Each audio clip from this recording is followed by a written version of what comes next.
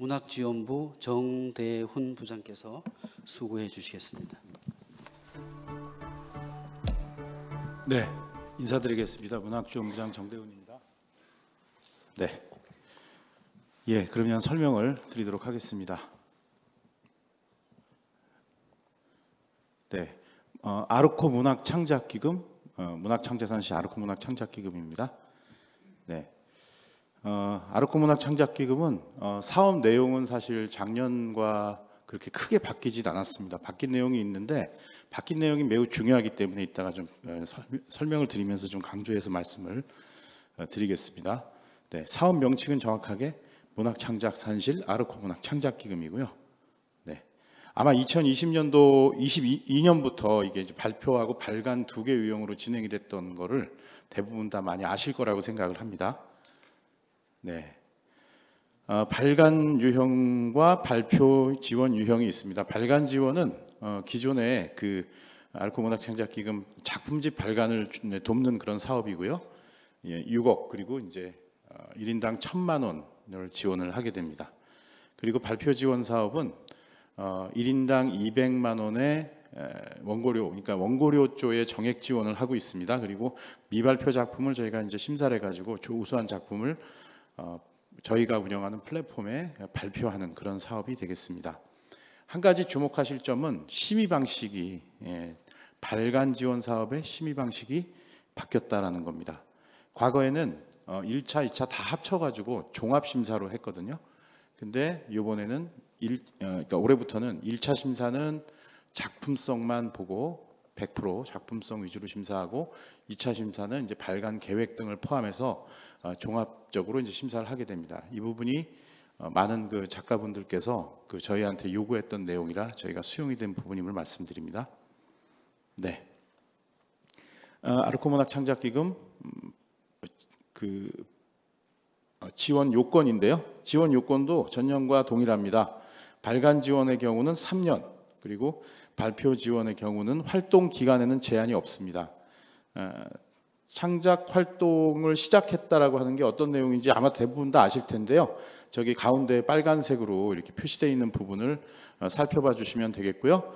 그 다음에 중요한 내용은 그 여기 이제 그 발간 지원 사업 유형에 어, 3년 이상 경과 어, 이, 이 내용이 있는데요. 아, 이거는 이제 그 저희 그 공고일 기준으로 되기 때문에 신청서 작성하실 때그 최대한 그 연, 월, 일을 같이 이렇게 표기를 해주시면 되겠습니다. 네, 부적격 요건도 매우 중요하죠. 예, 아, 그 공통사항 그 확인해 보시면 감사하겠고요. 그 다음에 발간 지원 유형은 동일 작품집을 이미 발간을 한 경우, 그리고 최근에 어, 3년간 어, 사업을 수혜받았던 이력이 있는 경우는 이제 해당 사항이 없어서 신청을 하실 수가 없고요. 그 다음에 발표 지원은 어, 이거는 100% 미발표작을 저희가 요구하고 있습니다. 그래서 어디에 공개되거나 발표된 적이 없는 작품이어야 하고요. 그 다음에 어, 이거는 뭐 부적격 요인이라기보다는 그 이제 조건이라고 보시면 될 것 같은데 선정 후에는 온라인 발표를 1년간 어, 해야 되는 내용이 있습니다. 예 그리고 어, 해당 작품이 타기관 등에 어, 신청 그러니까 그 선정된 경우에는 어, 저희랑 협의를 해서 조정을 해야 되는 사항이 있음을 말씀드리겠습니다. 네. 그다음에 이제 일정을 한번 보시면 되겠는데요. 아르코 문학 창작 기금의 가장 큰 두 번째 변화가 이제 공모 기간을 저렇게 좀 분리해서 좀 진행을 하는 음, 내용입니다. 작년 같은 경우에는 아 그러니까 올해 같은 경우에는 어, 그거를 다 동시에 진행을 했기 때문에 특- 어, 굉장히 좀 혼란스러웠을 어, 거라고 생각이 됐습니다. 그래서 아, 이번에는 아, 이렇게 10월 그 발, 발간 지원 사업은 10월에 정기 공모 기간에 진행이 되고요. 저- 어, 발간 지원이 다 맞춰진 후에 결과 발표까지 다 맞춰진 후에 발표 지원이 진행됩니다. 조금 덜 헷갈리실 것 같죠? 네. 다음은 어, 심의 방법입니다. 네, 심의 방법 아까 제가 좀 설명드렸듯이 예, 어, 작품 그러니까 발간 지원의 에, 심사 방식을 좀 살펴봐 주시면 좋겠습니다. 예, 1차는 작품 심의, 1차에서 어, 통과된 자, 아, 그 작품들은 이제 그, 그, 그 발간 계획이라든지 어, 이런 것들을 종합적으로 어, 검토해서 심사를 하게 됩니다. 어, 발표 지원의 경우는 전년하고 동일한 내용이고요. 네, 그다음에 심의 기준입니다. 심의 기준은 아, 발간 지원의 경우는 지금 제가 조금 전에 말씀드렸듯이 1차는 작품의 우수성을 100%로 보고 그 외의 심의 기준을 고려해서 이제 2차 심사를 진행을 하게 됩니다. 그리고 발표 지원의 경우에는 미발표 작품의 원고 문학적 수준 이것을 또 100%로 보고 있습니다. 에, 제출 자료입니다. 예, 지원 신청서하고 어, 작품 원고를 제출하셔야 되는데요. 여기서 또 중요한 변화가 하나 있습니다. 아마 계약서 첨부 여부 굉장히 좀 중요하게 생각을 하셨을 텐데요. 아, 자, 저희가 올해는 이제 계약서를 의무적으로 이제 그 제출하도록 그렇게 에, 했었습니다만 아, 그 부분이 좀 문제가 있다. 그리고 많은 분들이 좀 어렵고 부담스러워 하신다 하는 그런 의견이 있었습니다. 저희가 굉장히 고민을 했는데 어쨌든 이 부분을 어, 신청 시에는 제출하지 않도록 그렇게 어, 개선을 했습니다. 그리고 어, 결과 발표 이후에 저희가 일정 기간을 두고 이제 그 계약서를 제출하도록 그렇게 개선을 했습니다. 이 부분은 어, 저희가 의지가 있어서 그렇게 했다기보다는 많은 그 작가분들이 그런 요구를 저희한테 의견으로 주셨고 그것이 수용된 내용이라고 이해해 주시면 되겠습니다. 네.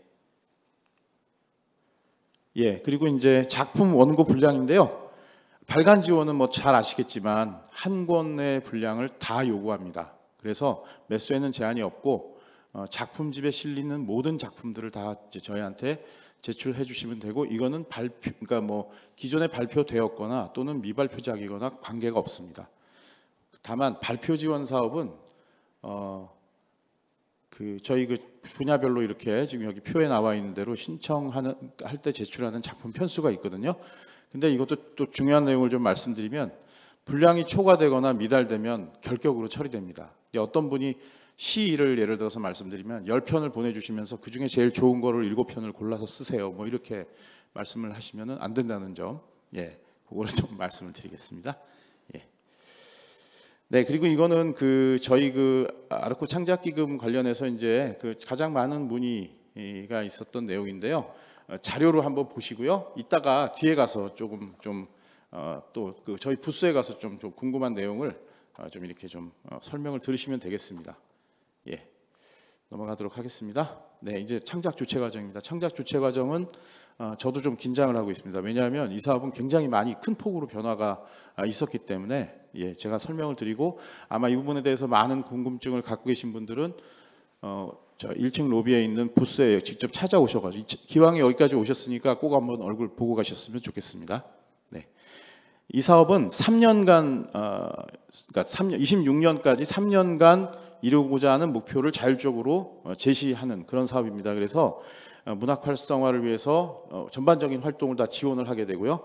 어, 창작 및 기획, 매체 발간, 레지던시, 뭐 축제, 공간 운영 등 다, 다양한 그런 어, 사업들. 그 동안에는 어떤 장벽이 있어가지고 사업이 너무 이렇게 어, 카테고리 이- 그러니까 세- 아주 세분화되어서 진행이 되다 보니까 어, 사각 그러니까 이제 지원 어, 좋은 프로그램이 뭐 사업임에도 불구하고 어, 시- 저희 이제 신청할 수 없었던 그런 사업들을 수용하기 위한 그런 그 노력으로 이해해 주시면 좋겠습니다.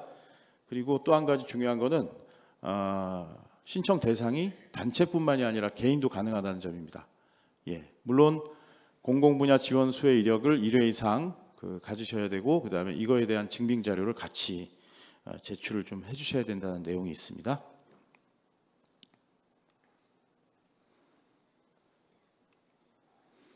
네, 사업 추진 체계는 아마 저희 그 문예진흥기금 사업을 수행해 보신 분들은 대충 많이 다 어, 익숙한 내용이라고 생각이 됩니다. 이 나라도움을 통한 집행정산 그리고 연중에 뭔가 이제 사업을 시작할 때 킥오프 그리고 어, 성- 뭐 중간에 또는 그 사업이 결- 결산되는 시점에 성과 공- 공유회 이런 것들을 이제 추진해야 되는 내용이 있고요.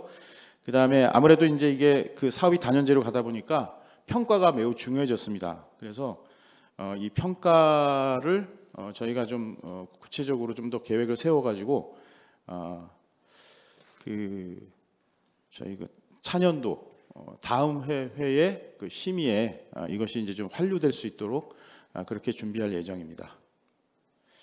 네, 심의 기준 한번 살펴보시고요. 네, 어, 신청자의 어, 신청 단체의 활동 이력 그리고 사업 수행 역량 이런 것들을 이제 가장 중요하게 보고요.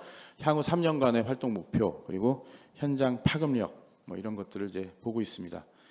아, 그러니까 어떻게 보면은 음, 어떤 단체가 그 단체가 가지고 있는 그 역량을 바탕으로 해서 향후 3년간 어, 문학 분야에 어떻게 기여할 것인가 하는 부분을 좀 어, 저희가 좀 본다고 보시면 될 것 같습니다. 네. 네, 그리고 이제 아까 예산 제가 말씀드렸나요? 예산은 저희가 1억 4,600만 원입니다. 큰 폭의 변화임에도 불구하고 예산 규모가 좀 적거든요. 예, 그거는 좀 설명을 드리자면 저희가 지금 기존에 하고 있는 문학 분야의 그 문예지 발간 지원 사업과 지필 공간 운영 지원 사업이 어, 내년까지 3년 단연간 사업이 종료가 됩니다. 그래서 그 부분을 제하고 어, 남은 예산으로 가용 예산으로 지금 이렇게 예, 진행을 하고 있다는 점이고요. 예. 아, 여기서는 예산 편성 시 이제 참고 사항을 좀 보시면 좋겠는데요.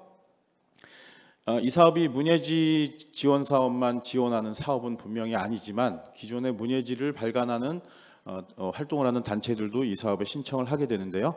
에, 그럴 경우에는 원고료를 약 80% 이상 어, 이렇게 그 선, 어, 그 편성을 해야 된다 이런 내용이 있습니다. 이게 이제 저희가 그 동안에 계속 그 문예지 발간 지원 사업이 어, 뭔가 이렇게 좀 그 창작의 공정한 보상 체계 뭐 이런 것들을 갖추기 위해서 갖추게 하기 위해서 좀 노력했던 부분의 연장선상이라고 봐주시면 될 것 같고요.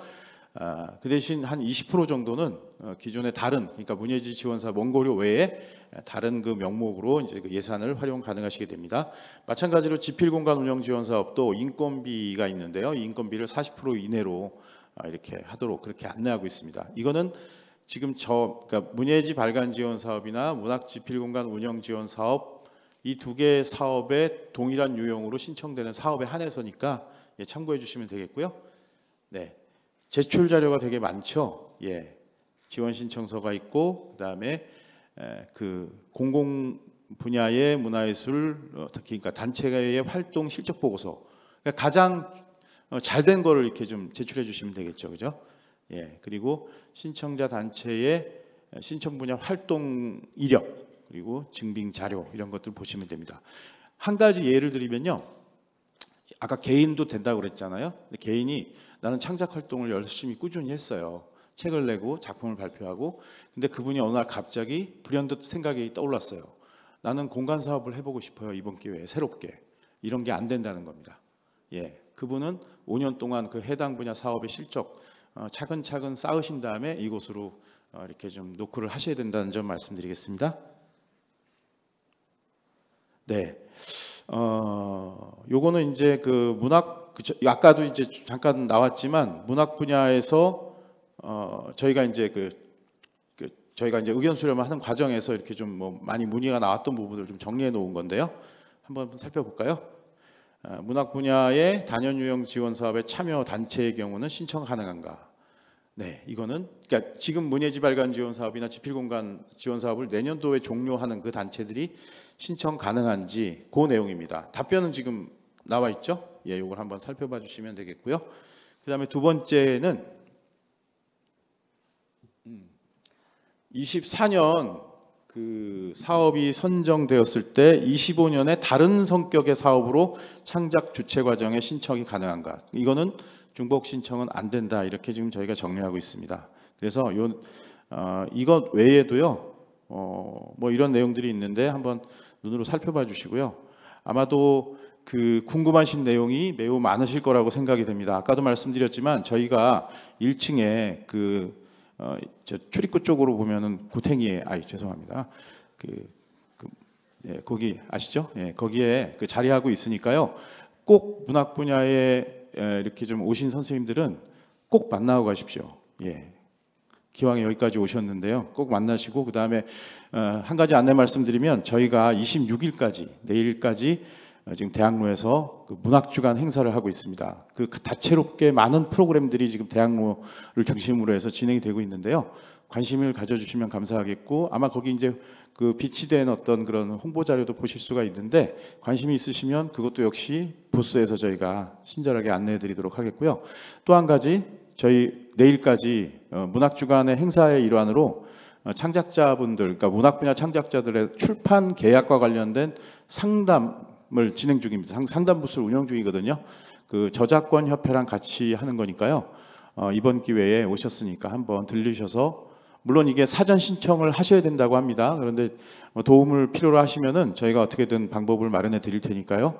그 어, 혹시 이번 기회에 잘 모르셨더라도 어, 출판 상담까지 출판 계약 상담까지 받으시고 어, 그렇게 가시면 알찬 하루가 되지 않을까 이렇게 생각이 됩니다.